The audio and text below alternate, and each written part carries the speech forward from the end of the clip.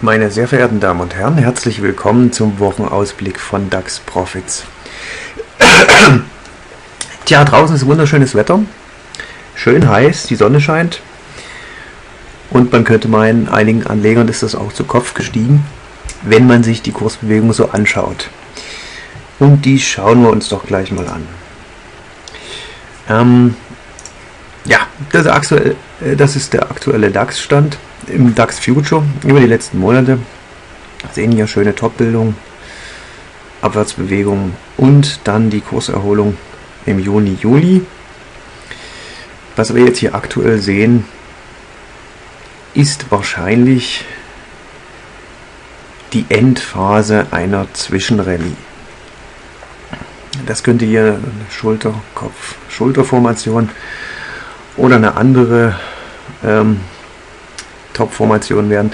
Was mir hier noch fehlt, sind negative Divergenzen in diesem Indikator. Verkaufssignal haben wir bereits.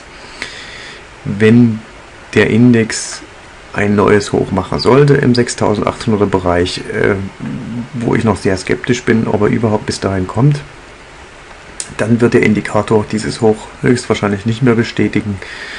Dann hätten wir unsere negativen Divergenzen und dann könnte es munter abwärts gehen ab August.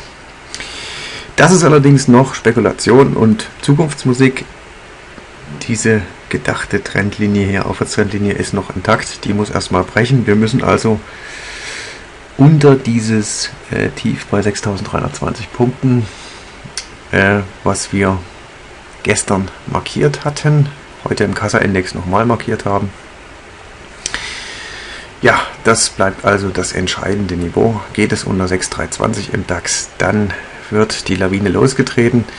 Schauen wir uns den ganzen im Kassa-Index nochmal an und da habe ich einen interessanten Vergleich zum letzten Jahr mitgebracht. Letztes Jahr das Top bei 7600 Danach ging es in einem relativ zappligen, aber gemächlichen Trendkanal abwärts und im Juni, Juli aufwärts bis knapp unter die Jahreshochs.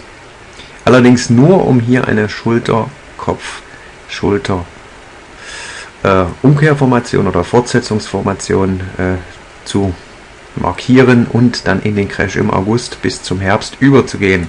So, jetzt vergleichen Sie das Ganze mal mit diesem Jahr. Anstieg ans Jahreshoch bei 7200, dann in einem relativ gemächlichen äh, Abwärtstrendkanal abwärts. Eine Zwischenrallye im Juni, Juli mit Ausbruch nach oben aus dem Trendkanal, ähnlich wie hier. Anstieg bis relativ nah unter das Jahreshoch. Hier könnte auch noch ein neues Hoch kommen. Und dann Abverkauf relativ steil und jetzt möglicherweise die Bildung einer rechten Schulter, ähnlich wie hier im Juli. Anfang August kam es dann zum Crash. Auch das könnte uns dieses Jahr bevorstehen, vielleicht mit einer halben oder einer ganzen Woche Verspätung. Da möchte ich mich jetzt nicht festlegen. Auf alle Fälle finde ich es wichtig, dass dieser, dieses Kaufsignal wieder zurückgenommen wurde mittlerweile, was uns die ganze äh, Zwischenerholung im Juni, Juli begleitet hat. Ich finde es außerdem wichtig, dass wir in den USA an der Leitbörse wieder massivste Insiderverkäufe sehen, dass wir eine geradezu grenzwertige Euphorie in Stimmung, Stimmungsindikatoren sehen und dass sich an der wirtschaftlichen Situation nichts zum Guten, sondern vieles zum Schlechten gewendet hat. Gleichzeitig sehen wir äh, deutlich enttäuschende äh, Quartalszahlen von Unternehmensseite. Das alles ist kein Cocktail, aus dem eine stabile Sommerrallye werden kann. Ähm, werfen wir gleich mal einen Blick auf den US-Markt. Da sieht die Lage doch etwas klarer aus. Wir sehen hier die Rallye zu Jahresbeginn, dann austoppen über diese Schulterkopf-Schulterformation relativ kurzer Einbruch und seitdem im Juni und Juli eine Zwischenerholung. Allerdings sehen Sie schon an diesen zehn Kursmustern und an dieser Keilformation hier, dass der Schwung hier schon lange raus ist und dass dieser Aufwärtstrend kurz davor ist, nach unten wegzukippen. Sie sehen es auch hier an den Stundenindikatoren, die bilden bereits negative Divergenzen aus. Das ist ein massives Warnsignal, dass hier bald Schluss mit lustig ist und wenn äh, dieses Tief hier bei 1330 im S&P 500 Kassa Index gebrochen wird, dann können Sie davon ausgehen, dass wir ein massives Verkaufssignal sehen und eine Abwärtswelle, die mindestens unter 1200 Punkte gehen wird, also mindestens 12, 13 Prozent Ausmaß haben wird. Wahrscheinlich deutlich mehr. Ähnlich wie im letzten Jahr, äh, als wir ein ähnliches Verkaufssignal sahen und dann in Richtung August-Crash gegangen sind. Äh, was mich äh, besonders stutzig macht, ist, dass es während dieser zweimonatigen Erholungsrallye ähm, zu einem ganz eigenartigen Phänomen kam. Die Anleger haben sich nämlich nicht auf zyklische Aktien gestürzt, wie das in gesunden Rallyes der Fall ist, sondern die haben sich überwiegend auf defensive Aktien gestürzt. Das können Sie hier ganz gut sehen in diesem Chart. S&P 500 ist das hier, das ist unsere Zwischenrallye, um die es jetzt geht.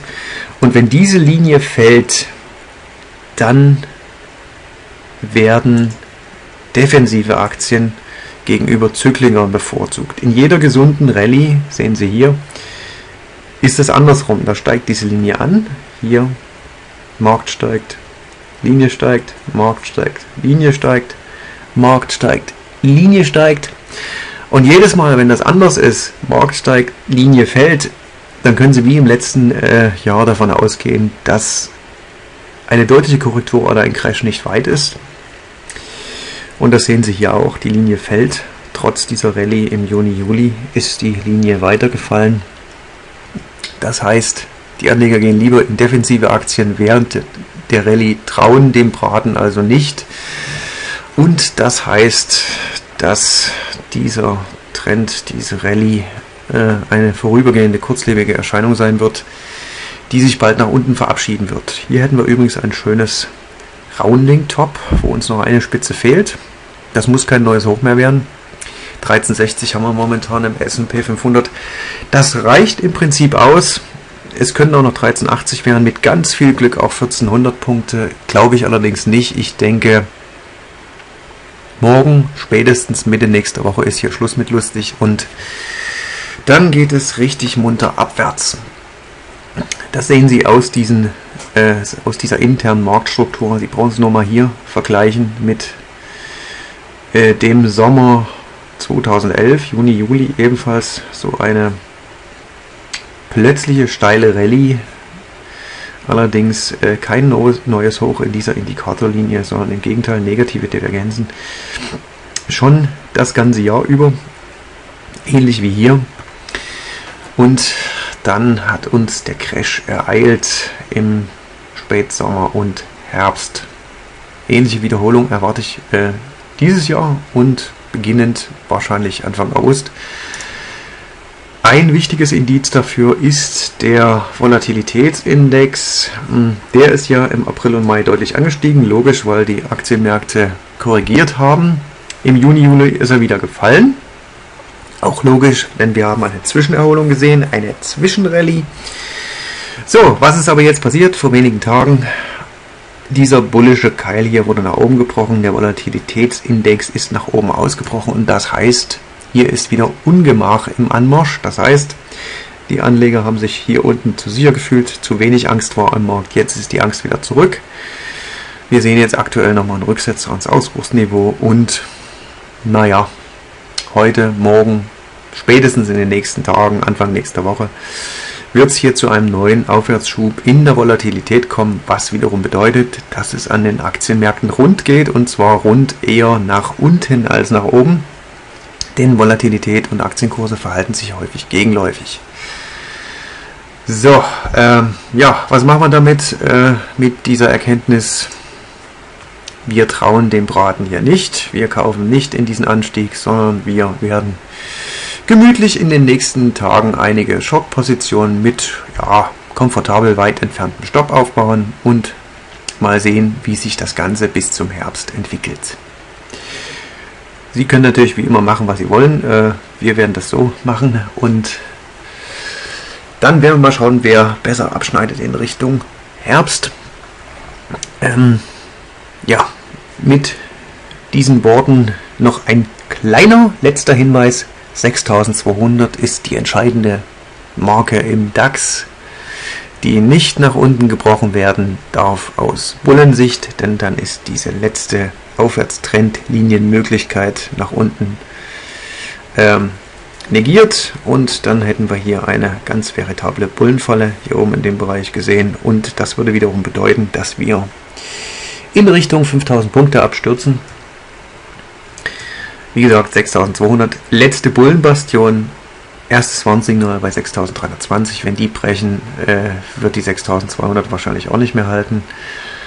Das wäre ein prozyklisches Verkaufssignal. Wer antizyklisch reingehen möchte in Richtung Short, der sollte das in den nächsten Tagen tun. Kleine Positionen, weit entfernte Stops, da kann nicht allzu viel passieren. Wer auf der sicheren Seite sein möchte, der wartet einen Bruch dieser grünen Aufwärtstrendlinie ab bei 6200 und sieht dann zu, dass er möglichst schnell in seine Shorts reinkommt oder aus seinen Long-Positionen rauskommt. Ja, so, jetzt aber endgültig äh, Feierabend für diesmal. Ich melde mich nächste Woche mit dem nächsten Video wieder und wünsche Ihnen bis dahin ein glückliches Händchen. Lassen Sie sich nicht vom Markt veräppeln. Äh, bis zum nächsten Mal, Ihr Henrik Vogt.